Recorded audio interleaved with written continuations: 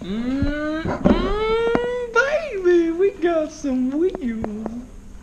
Hey everybody, welcome back to Jeff and Adam Build a Zenith. We're still building the Zenith, the experimental airplane here.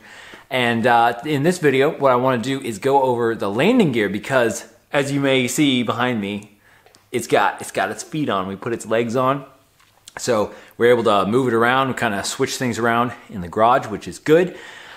And uh, like usual, like with just basically everything, um, it, it, seemed like a simple process to get the landing gear on, but there were there were definitely a few little things that made it difficult that you wouldn't maybe think about that we didn't think about at first. So in this video, I'm going to be focusing on the landing gear, and I'm going to try and uh, mention all of the key points that you might want to know if you're working on your landing gear. I'm going to try and put as much B-roll and stuff of actually doing things on the plane as I can in here, but I did not film every single thing that I did because there just was not enough time, you know, because that's that's the thing. It's really hard to balance between you know filming something or actually getting stuff done. And so I I pretty much always want to err on the side of getting the thing done um, instead of like trying to film as I do it because it's just kind of distracting and it's it's hard to do well both. So I got to pick one and kind of focus more on that.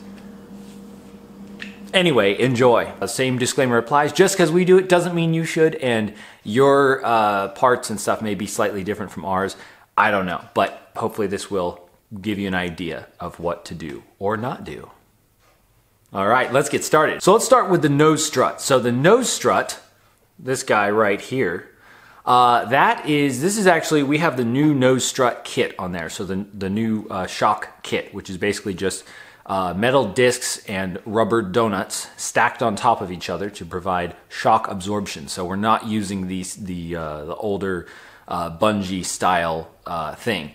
So um, this is good because it's nice that we don't have to do the whole bungee thing. And I think this is going to be a lot more durable and, and just have a longer lifespan and, and all that sort of thing. Plus, it looks way cooler. Uh, but the very important thing to know about that is that you will need to cut the the uh, your strut. There's there's a um, the hook, the little like the little things that stick out for the bungee to uh, bungee. Uh, the bungee to hook onto, you're going to need to cut those off, and then you're going to end up with a hole in your strut, and you're going to need to weld that hole. So we didn't know this, um, so we we cut it off just fine. That was easy part.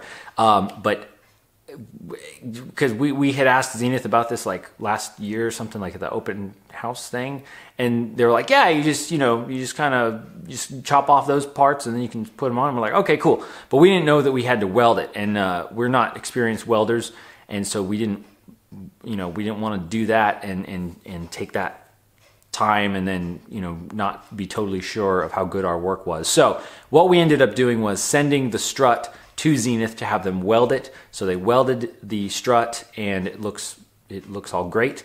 The next tricky thing was that it was the discs actually the for the new strut shock shock strut strut shock shock kit uh, for the for the nose strut. The discs were actually out of round, so um, or it's not, or they weren't totally round, so they didn't really fit on the strut, and so that was that was a pain. Um, I I I probably could have had Zenith send us new ones, but I was just like, well, we got them. We'll just we'll just uh, you know file them down and make them fit. So that's what we ended up doing. It worked out okay. Dad did a great job of uh, making sure that those fit.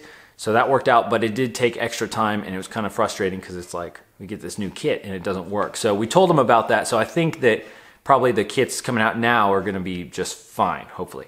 Along with the, uh, the, the rubber discs and all that stuff for the actual shock part, there's a reinforcement assembly part that you kind of have to put together and build, which is actually a little bit tricky because of the way that the rivets are, trying to get enough space for, uh, for your rivet gun and everything to kind of go together. So we got those tasty little donuts right there. We got this piece, which is this this reinforcement piece here. Long story short, if you read carefully, it comes with a bunch of bolts. Also, if you look, it comes with bolts. And the bolts go on here, so along all of these holes right here. And you have one little L that goes up in the front and one little L that goes down in the back. Okay, And for some reason, it like points to a random hole right there, and then like a random hole over there.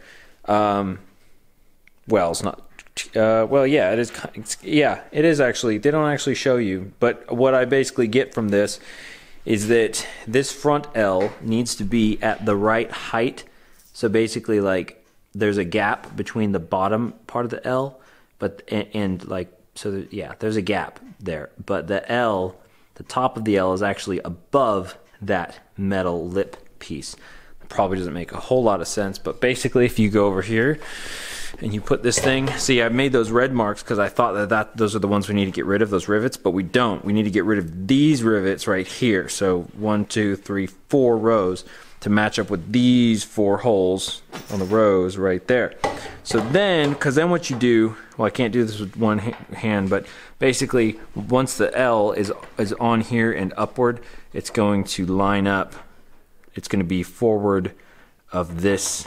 So basically, we're going to drill all of these holes. For some reason, these four holes are 3 16ths. We're going to drill all of these holes out to 3 16ths.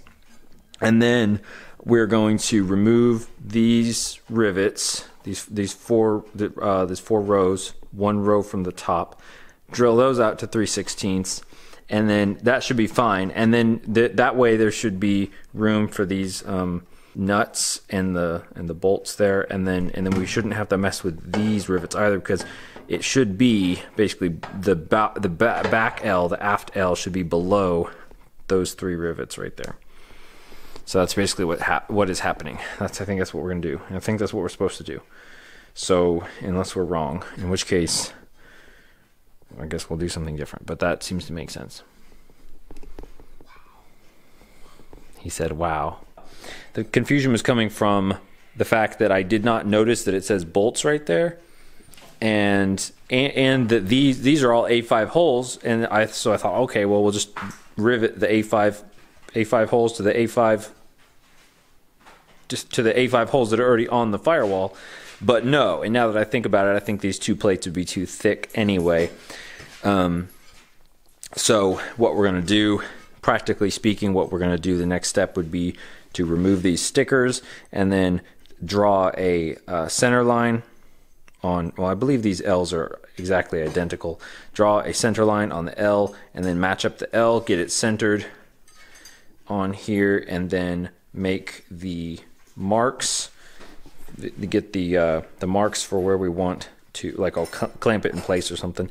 Decide where I want the rivets on the L, and then rivet that in place, boom on this side, boom. Wait, it goes like that, right? Yeah, it goes down like that. Yes. Yeah, like that. Boom. And then rivet those in place. And then, um, and also, either before or after or whatever, drill all of these holes out to 3 16th inch. Drill these rivets out one, two, three, four rows, and then um, drill those out to 3 16th inch, and then do a test fit with the uh, bolts and stuff. And then I think we'll just leave everything else in place. That's, that should be how that works. And then that should actually be it. The next tricky thing, still on the nose strut, is the plastic bearing, or like the, the bearing for the strut. And I'm not sure why, but this part cost like $150 um, because we had to buy another one because I screwed up the first one.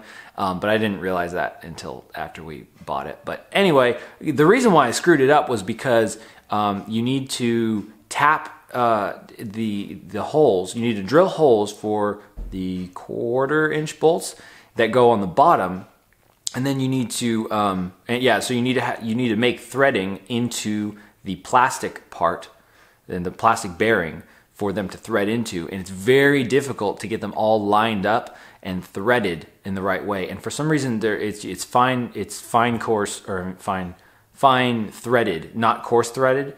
Um, and yeah, so it was really frustrating and a big pain. So I mean, I was almost just gonna just gonna use like you know self tapping like uh, screw. Um, yeah, pretty much like screws. Like if you used like self tapping bolts or bolts or bolt screw, screw bolt things, I don't really know what they're called. But if you used like some sort of coarse thread self tapping uh, screws, that have like a bolt head on them that you could you know drill a hole through um, to safety wire them all together like you like you need to do, then I just I would have just done that. Like it seems kind of weird that you need to to make such fine fine threads for those pieces. So anyway, getting all all four bolt holes to line up was difficult, and so I messed up on the first one, uh, and then I barely got the second one to work, but it does work. The other thing was actually the um, the other thing about the bearing was actually the the holes uh, going through it, uh, you know, horizontally. Um, I probably should have done it the way that John did it in his video, the John from Home Built Help, um, but I kind of did it like a different way, and it didn't work out so great. So probably do it like that, where you make a template and you like match it up and stuff. Which I still think it seems a little ridiculous. Like there's got to be a better way of attaching this this bearing instead of like all this stuff going on. But anyway, just watch out for that. And also, the other thing was that uh, it didn't fit super great, the, at least the first one that, that we got. So I had to like kind of cut away some on here. And it seems like it is better to just use a razor blade to cut little portions um, as opposed to like a sander because I tried a sander and it did, did not work super great. But between that, I was able to um, kind of fit it in and it is a tight fit. Oh yeah, also right here, right here I had to drill out because it was hitting a rivet. Why was it hitting a rivet? Oh, well, it's all covered up right now, so. And I think, honestly, I can't remember if I have it, if I have the same little hole right here, this little indentation um, on the new one, but I drilled this out partially because there was a rivet that it was sitting on and it was making it not you know, it wasn't sitting flush against the firewall. So not sure why it was just on this one side, but that's what I had to do. So I don't know. You might you might have to do the same thing, but I don't know. That's just me. What am I? Uh, aerospace engineer? I think not. So the fork assembly. Well, you have the fork assembly, and then you have the you know attaching the fork assembly to the main strut. So the fork assembly that wasn't too tricky. Um, I'm trying to remember it was mainly just you know stacking the things up and uh, stacking the, the, the reinforcement strut and the and the other strut like the doubler, um, and then getting those holes to you know match drilling everything, and then also uh, drilling out using like I used a step drill to drill out the big uh, axle holes, um, the the holes for the wheel axle. Now, as far as actually attaching the strut to the nose strut to the fork, that was um, pretty tricky actually because you because there's like six holes that you need to drill out and you got to match drill all those holes and you got to you know drill it out through that thick uh, you know two pieces of thick aluminum and then the steel of the actual strut. So that was that was kind of tricky. Uh, dad came up with this like kind of jig setup using the drill press to actually drill it out which worked pretty well. Um, so it was kind of like a lot to you know set up and have to do but but it turned out to to work pretty well. And then of course, you know, you got to drill your pilot holes and then step your way up. And it's a pretty slow process because of how thick the materials are. Yeah. Also, on one of those bolt holes, um, well, you have to keep the bolt holes um, far enough away from the weld so that way the the bolt head is not resting on the weld. Uh, on the on the nose strut. So what I had to do on one of them was make like a little custom washer basically I just ground down like half of a washer or almost half of it um, so that I could elevate the bolt head just above the weld to keep it from touching. So uh, keep that in mind because it wasn't a big deal, but it did take extra time to have to have to fabricate that part and install it. And then uh, let's see, I need a safety wire, a couple of those um, those bolts there for the for the uh, nose strut bearing.